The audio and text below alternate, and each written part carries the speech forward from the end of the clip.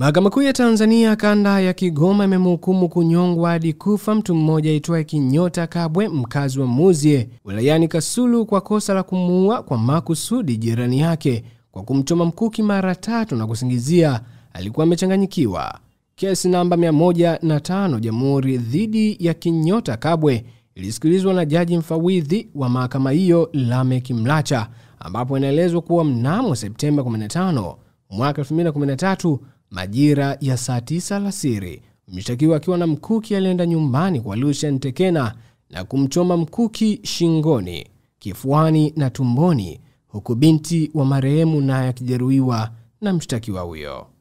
Inaelezwa kabla ya tukio hilo ambalo baada ya muda mfupi mwanamke huyo alipoteza maisha na yeye mshtakiwa kukamatwa, ni kama kulikuwa na ugomvi na mvutano kati yake na mkewe nyumbani kwake, ambapo unahisiwa kuwa uwezekano ulikuwa unamuhusisha marehemu pia, hivyo kusababisha mauaji hayo. Upande wa jamhuri uliongozwa na wakili Antonia Julius na upande wa utetezi uliongozwa na wakili Edna Alois.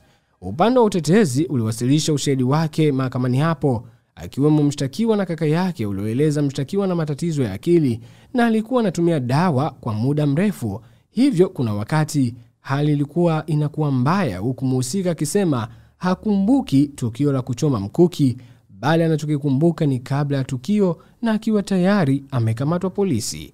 Jamhuri iliwasilisha mashahidi watano akiwemo aliyeshuhudia mauaji hayo na daktari wa magonjwa ya akili aliyempima mshtakiwa huyo na majibu yakawa kuwa hana ugonjwa wowote wa, akili.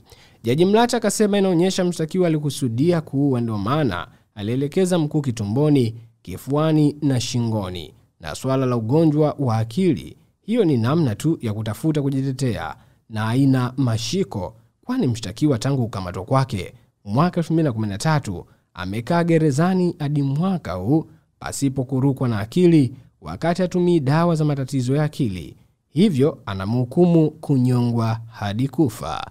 Ni kutokea katika mahakama kuu ya Tanzania kanda ya Kigoma ambayo imemhukumu kunyongwa hadi kufa mtu mmoja aitwaye Kinyota Kabwe. Anaripoti Ali Dreams TZA Kigoma.